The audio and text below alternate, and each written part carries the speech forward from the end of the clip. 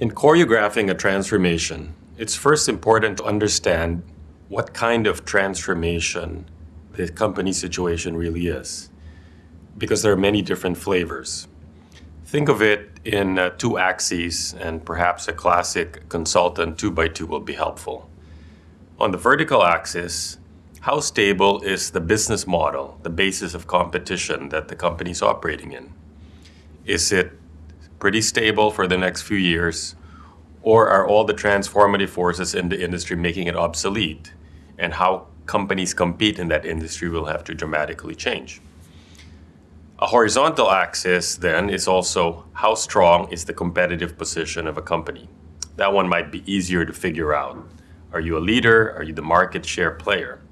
And where you stand in the quadrants on those two dimensions will have meaningful impact on the nature of your transformation agenda and ultimately your choreography. Let me explain.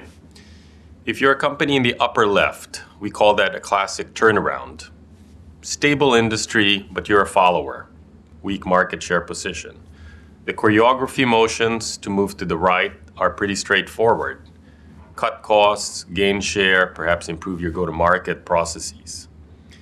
If you are a company on the bottom right, where you are a very strong competitive position, but in an obsoleting industry, you know, perhaps you are, uh, you are Intel and you are focused entirely on PC semiconductors and the world's changing but you have a strong enough position and an ability to reinvest with time. We'd call that reinvention.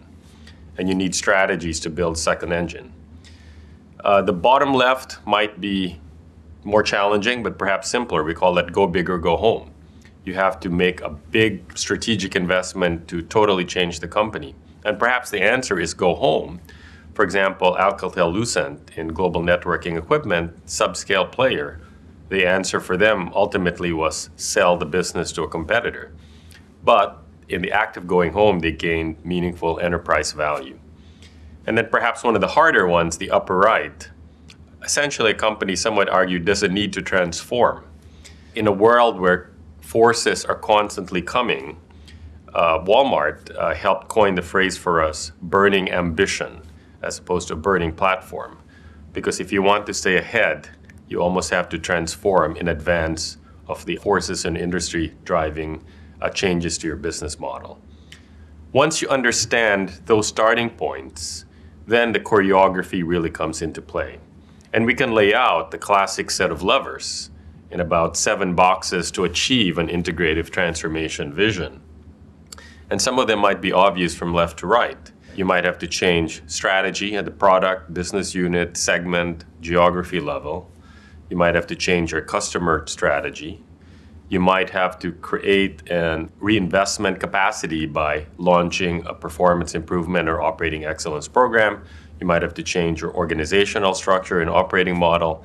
Ultimately, you might have to change your capital structure.